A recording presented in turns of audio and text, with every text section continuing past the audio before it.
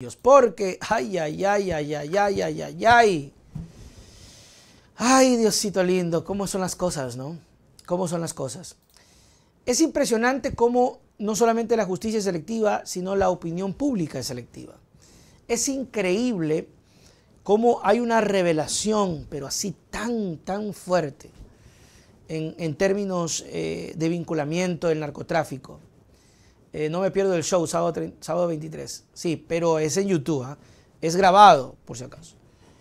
Que hoy cuando se empieza a revelar que hubo intenciones por parte de Villavicencio para, para sacar plata de un narco, ahí es cuando uno dice, no me vengan. Si viene alguien a decirme de que mañana yo soy el Adalid, yo soy el que va a luchar contra los narcotraficantes, vaya por la sombrita, hermano lindo. No me venga a joder y a fastidiar la vida. ¿Ok?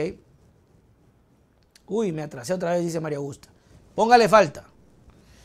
Se entera la bancada de Construye, la bancada que llegó gracias a la muerte de Villavicencio. Suena horrible, pero es así. La bancada que eh, el señor Zurita, sin ninguna vergüenza, salió a decir que la Revolución Ciudadana tenía algo que ver.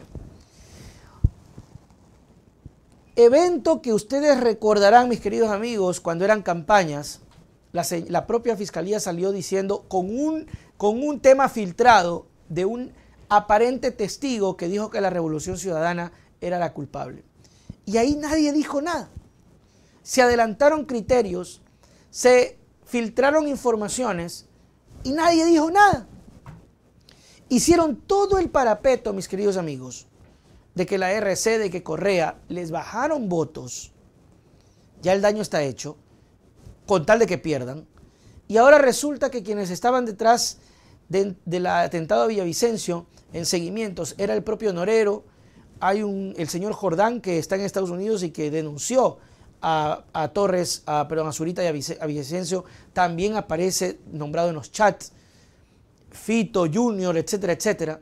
Y peor aún, la acusación de que asesores, abogados del señor Villavicencio, solicitaban dinero, plata, para que puedan dejar de hablar de Norero, para que lo, que lo dejen tranquilo.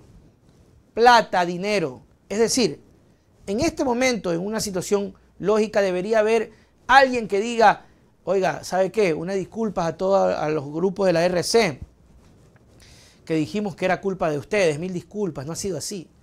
No va a pasar nada. Es más, yo les aseguro, mis queridos amigos, que la, que mucha información se va a guardar hasta el 2025. Porque así son.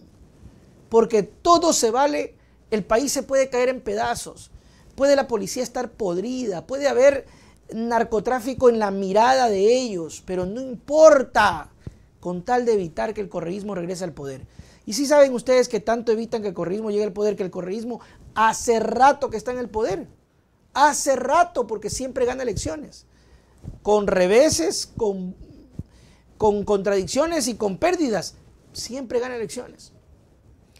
Entonces, es increíble cómo se arma una comisión en la, en la, Asamblea para investigar el tema de Villavicencio.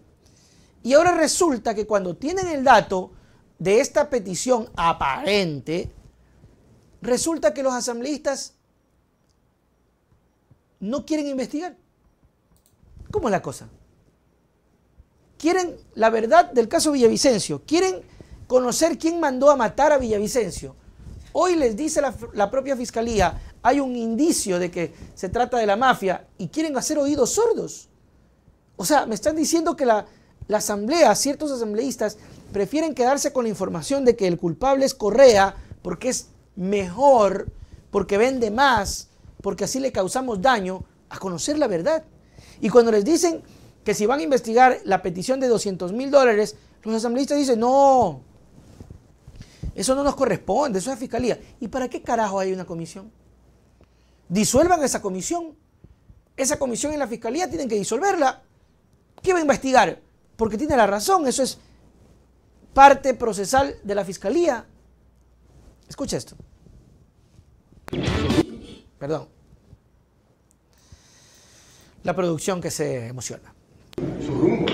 Los dichos definitivamente tendrán que ser demostrados. Definitivamente hay aquí mucha tela que cortar. Obviamente no podemos anticipar absolutamente nada, no obstante, de nuestra parte hay respeto total a la institucionalidad de la Fiscalía General del Estado y del profesionalismo de la señora fiscal. Ustedes ya le pidieron cuenta al abogado de Fernando Villavicencio para que explique este pedido que hizo en nombre de él de los 200 mil dólares. Nosotros no tenemos que pedirle cuentas a absolutamente nadie, porque eso le corresponde a la, a la, autoridad penal en el Ecuador, que son la Fiscalía para la investigación y los jueces penales para la determinación de la culpabilidad y la sanción correspondiente. Entonces no ha pasado nada dentro de Construye.